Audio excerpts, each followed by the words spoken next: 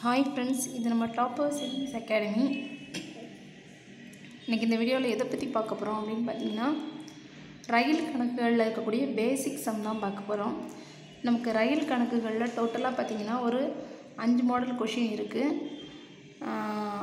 அஞ்சு மாடல் கொஷினில் இப்போ ஃபஸ்ட்டு ஒரு ரெண்டு மாடல் மட்டும் பார்க்க போகிறோம் இல்லை ஃபஸ்ட்டு பாருங்கள் இதான் மெயின் ஃபார்ம்லாம் என்னென்னா டிஸ்டன்ஸ் ஈக்குவல் டு தொலைவு ஈக்குவல் டு வேகம் இன்ட்டு காலம் தான் நமக்கு ஃபார்முலா வேகம் கேட்டிருந்தாங்கன்னா தொலைவு டிவைடட் பை நேரம். ஓகே இதில் மெயினாக இந்த ரயில் கணக்குகளை பொறுத்தளவில் நம்ம மெயினாக எதை பார்க்கணும் அப்படின்னு பார்த்தீங்கன்னா நம்ம கிலோமீட்டர் ஸ்பீடு வந்து கிலோமீட்டர் பெர் ஹவரில் கொடுத்துருக்காங்களா? இல்லை மீட்டர் பெர் செகண்டில் கொடுத்துருக்காங்களாங்கிறத பார்க்கணும். நமக்கு கேட்கக்கூடிய கொஷினு டிஸ்டன்ஸு கேட்டிருந்தாங்கன்னா நமக்கு கீழே கூடிய டிஸ்டன்ஸ் கேட்டிருக்காங்க அப்படின்னா நமக்கு வந்து செகண்ட்ஸ் செகண்ட்ஸில் வந்து நேரம் கொடுத்துருந்தாங்கன்னா நம்ம வந்து கண்டிப்பான முறையில் கிலோமீட்டர் பெர் ஹவராக இருக்கிற மீட்டர் பெர் செகண்டாக மாற்றணும் ஸோ இப்போ மாற்றணும் அப்படிங்கிற இப்போ கிலோமீட்டர் மீட்டர் கிலோமீட்டரை மீட்டராக மாற்றணும் அப்படின்னா அஞ்சு பை பதினெட்டால் மல்டிப்ளை பண்ணணும். இது எது? மீட்டர் பெர் வினாடியை கிலோமீட்டராக மாற்றணும் அப்படின்னா நீங்கள் பதினெட்டு பை அஞ்சால் மல்டிப்ளை பண்ணணும். ஓகே இதில் உங்களுக்கு டவுட் இருக்குது அப்படின்னா எப்படி கிலோமீட்டர் பெர் ஹவரை மீட்டராக மாற்றுறதுக்கு கன்ஃபியூஷன் இல்லாமல் இருக்குன்னா எப்படின்னு பாருங்கள் நம்ம பெரிய வேல்யூவை தான் என்ன பண்ணுறோம் சின்ன வேல்யூவாக மாற்றுறோம் ஸோ அப்போ பெரிய வேல்யூவை சின்ன வேல்யூவாக மாற்றும் போது நம்ம சின்ன எதா மாற்றுறோம் சின்ன வேல்யூவாக மாற்றுறோம் ஸோ அப்போ சின்ன நம்பர் தான் மேலே இருக்கணும். ஸோ ஃபைவ் தான் மேலே இருக்கணும். அடுத்து இதே மாதிரி பெரிய வேல்யூவாக மாற்றுறோம் சின்ன வேல்யூவை பெரிய வேல்யூவாக மாற்றுறோம்னா அப்போ எதா மாற்றுறோம் பெரிய வேல்யூவாக மாற்றுறோம் ஸோ அப்போ பெரிய நம்பர் தான் மேலே டாப்பில் நியூமரேட்டரில் இருக்கணும். அப்படிங்கிறத மட்டும் ஞாபகம் வச்சுக்கிட்டிங்கன்னா ரொம்ப ஈஸியாக இருக்கும். கன்ஃபியூஷன் வராது. இதில் ஃபஸ்ட்டு கொஷின் பாருங்கள்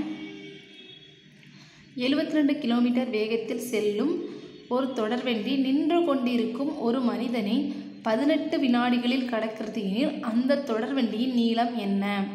இப்போ பாருங்கள் நமக்கு என்ன கேட்டிருக்காங்க? தொடர்வண்டியோட நீளம் கேட்டு நீளம் என்னன்னு கேட்டிருக்காங்க. நீளம்னா தொலைவு.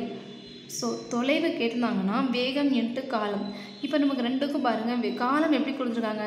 ஃபஸ்ட்டு காலத்தை எடுத்து பாருங்கள் பதினெட்டு வினாடி. கண்டிப்பாக பதினெட்டு வினாடிகள் கொடுத்துருக்காங்கன்னா கண்டிப்பாக முன்னாடி இருக்க வேகம் எப்படி இருக்கணும்? மீட்டரில் தான் இருக்கணும். ஏன்னா metre per second metre per வினா வினாடி வினாடியில் தான் நம்ம யூனிட் இருக்கணும். ஸோ காலம் வந்து வினாடியில் இருக்கிறனால நம்ம வேகத்தை கண்டிப்பான முறையில் நம்ம இதாக தான் மீட்டரை தான் மாற்றணும் ஸோ எழுபத்தி ரெண்டு கிலோமீட்டர் அப்படிங்கிறது எப்படி மீட்டராக கன்வெர்ட் பண்ணலாம்னா நம்ம சின்ன வேல்யூவாக தானே கன்வெர்ட் பண்ண போகிறோம் ஸோ அஞ்சு பை எழுபத்தி ரெண்டு இன்ட்டு அஞ்சு பை பதினெட்டால் நம்ம மல்டிப்ளை பண்ண போகிறோம் அஞ்சு பை பதினெட்டால் பண்ணும்போது நம்ம சிம்பிளிஃபை பண்ணோம்னா ஒரு பதினெட்டு பதினெட்டு நாலு பதினெட்டு எழுபத்தி ரெண்டு four so four into five இருபது.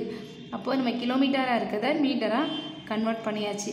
ஸோ மீட்டராக கன்வெர்ட் பண்ணிட்டோம். திரும்ப எனக்கு நமக்கு என்ன கேட்டிருக்காங்க? தொலைவு equal to distance distance and காலம் ஸோ பெருக்கிட்டிங்கன்னா ஆன்சர் உங்களுக்கு கிடச்சிருச்சு. இதில் செகண்ட் மாடல் பாருங்கள் இப்போ உங்களுக்கு தொலைவு வந்து ஒரு மனிதனை கடக்கும் போதுன்னு வரும்போது நமக்கு வந்து என்ன ரயில் ட்ரெயினோட லென்த் என்ன கொடுத்துருக்காங்களோ அதுதான் நம்ம லென்த்தாக எடுத்துக்கிடுவோம். தொலைவு நமக்கு இதில் நமக்கு தொலைவு தான் கேட்டிருக்காங்க. ஸோ இது வண்டி ரயில் பெட்டியோட நீளம். இதே இது நமக்கு தொலைவு கேட்டிருந்தாங்க இந்த தொலைவு கொடுத்துருந்தாங்க அப்படின்னா தொலைவுங்கிறது எது? நம்ம ட்ரெயினும் கொடுத்தாங்கன்னா ட்ரெயினோட நீளம் தான் தொலைவு. சப்போஸ் அந்த இடத்துல வந்து ஒரு பாலத்தை கடக்கிறது அப்படின்னு வரும்போது அந்த தொலைவில் அந்த ட்ரெயினோட லென்த்தும் அந்த பாலத்தோட லென்த்தையும் சேர்த்து தான் மொத்த தொலைவுன்னு எடுத்துக்கணும். ஓகேவா எப்படின்னு பாருங்கள் அந்த ட்ரெயின் வந்து இதான் ட்ரெயின் அப்படின்னா இங்கே பாலம் இருக்குன்னா அப்போது ஸோ ட்ரெயின் வந்து அதோட லென்த்தையும் கடக்கணும் அந்த பாலத்தோட எண்டையும் கடக்கணும். ஸோ அப்போ அந்த ரெண்டு டிஸ்டன்ஸு ஸோ அந்த ரெண்டு டிஸ்டன்ஸுமே தொலைவில் தான் நமக்கு ஆட் ஆகும்.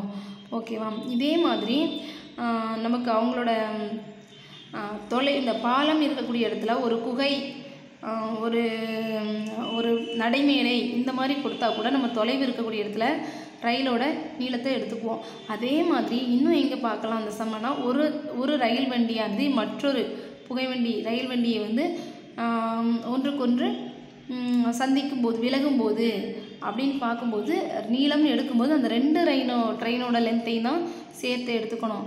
ஒன்றைக்கொன்று கடக்கு எடுத்துக்கொள்ளும் தொலைவு நேரம்னு கேட்டாங்கன்னா அந்த தொலைவு வரும்போது அந்த ரெண்டு ட்ரெயினோட லென்த்தையும் எடுத்துக்கணும். லென்த்தை பொறுத்தளவில் நமக்கு பாலம் கொடுத்தாலும் ஆட் பண்ணிக்கிடணும் குகை பிளாட்ஃபார்ம் என்ன கொடுத்தாலுமே ஆட் பண்ணிக்கணும். அது அகெயின் அது ஒரு மனிதன் ஒரு சிங்கிள் பாயிண்ட்னா மட்டும்தான் அந்த தொலைவை வந்து ட்ரெயினோட தொலைவை மட்டும் எடுத்துக்கணும். இல்லை அதர்வைஸ் வேறு ஏதாவது அடிஷ்னலாக கொடுத்துருந்தாங்கன்னா அந்தோட லென்த்தையும் சேர்த்து தொலைவுன்னு எடுத்துக்கணும். ஸோ இந்த சம்பளம் அதே மாதிரி தான் கொடுத்துருக்காங்க. முந்நூற்றி எழுபத்தைந்து மீட்டர் நீளமுள்ள ரயில் வண்டி ரயில் மணிக்கு நூற்றி நாற்பத்தி நாலு கிலோமீட்டர் வேகத்தில் செல்கிறது. அந்த தொடர்வண்டி இரநூத்தி இருபத்தைந்து மீட்டர் நீளமுள்ள பாலத்தை கடக்க எவ்வளவு நேரம் எடுத்துக்கொள்ளும்? ஸோ டைம் தான் கேட்டிருக்காங்க. நம்ம மீட்டர் கொடுத்துட்டாங்க. அப்போ கண்டிப்பாக இதில் நம்ம கிலோமீட்டரை எப்படி மாற்றணும் செகண்ட்ஸுக்கு மாற்றணும் ஸோ கிலோமீட்டரை நம்ம செகண்ட்ஸுக்கு மாற்றியாச்சு அப்படியே சொன்ன மாதிரி தான் தொலைவு கொட்டு ரயிலோட ரயில் நீளம் ப்ளஸ் பாலத்தோட நீளம். அதுபோக நம்ம இப்போ மீட்டரை கிலோமீட்டரை மீட்டராக மாற்றியாச்சு so one forty four into five by eighteen நீங்கள் கட் கொடுத்தீங்கன்னா எயிட்டீன் எயிட் டேர்ம்ஸ் வந்து எயிட்டீன் இருக்குது so eighty to five equal to forty நேரம் பாருங்கள் தொலைவு பை காலம் ஸோ தொலைவுன்னு ஆல்ரெடி சொல்லிட்டேன். ஏற்கனவே ஒரு ட்ரெயின் ஒரு பாலம் அப்படின்னு வந்துச்சுன்னா ரெண்டு லென்த்தை பொறுத்தளவில் ரெண்டையுமே ஆட் பண்ணணும். ஸோ ரெண்டு நம்ம தொலைவுக்கு ரெண்டு லென்த்தையும் ஆட் பண்ணி வச்சுருக்கோம். நம்ம செகண்ட்ஸ் கால்குலேட் பண்ணி வச்சுருக்கோம். ஸோ ஃபார்ட்டி நம்ம இதுக்கு ஒன்று சிம்பிளிஃபை பண்ணோம்னா ஃபிஃப்டீன் செகண்ட்ஸ் கிடைக்கும். இது வந்து ரெண்டு மாடல் இன்னும் இதுவும் போக இன்னும் ரெண்டு மாடல் என்ன இருக்குது அப்படின்னு பார்த்தீங்கன்னா ஒரு ரயில் வந்து ஒரு மற்றொரு ரயிலை ஒன்றுக்கொன்று சந்திக்கும் போது அந்த அந் ஏ என்ற ரயில் பி என்ற புகைவண்டியை கடக்கும்போது பி என்ற புகைவண்டியில் உள்ள ஒரு மனிதனை கடக்கும் தொலைவு. அப்போது மனிதன் அந்த இடத்துல வந்தாங்க அந்த சிங்கிள் பாயிண்ட் தான். ஸோ அப்போ அதோட டிஸ்டன்ஸே எடுக்கலை இதே இது ஒரு ட்ரெயின் இன்னொரு ட்ரெயினை கிராஸ் பண்ணும்போது அது அவங்களுக்குள்ள ஸ்பீடு என்ன அப்படின்னு கேட்டாங்கன்னா நம்ம ரிலேட்டிவ் ஸ்பீட் எடுத்து பார்க்கணும். ஏன்னா ரெண்டு ட்ரெயினுக்கும் லென்த் இருக்கும்.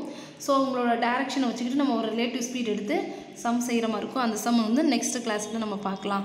ஓகேவா இந்த ரெண்டுமே ரொம்ப பேசிக்கான சம் இந்த ரெண்டு பேசிக்கான சம் தெரிஞ்சாலே ஓரளவு குரூப் ஃபோருக்கு கிளியர் பண்ணிட முடியும். இது இது குரூப் டூ லெவல்னு வரும்போது சப்போஸ் நமக்கு ட்ரெயின் சம் கேட்டாங்கன்னா இதுக்கு அடுத்த லெவல் தான் இருக்கும். ஸோ அந்த சம்மை நெக்ஸ்ட் கிளாஸில் பார்க்கலாம். ஓகே ஃப்ரெண்ட்ஸ் இந்த வீடியோ வாட்ச் பண்ணிக்கிறோம் தேங்க்ஸ் இது நம்ம toppers IAS academy Velachery thank you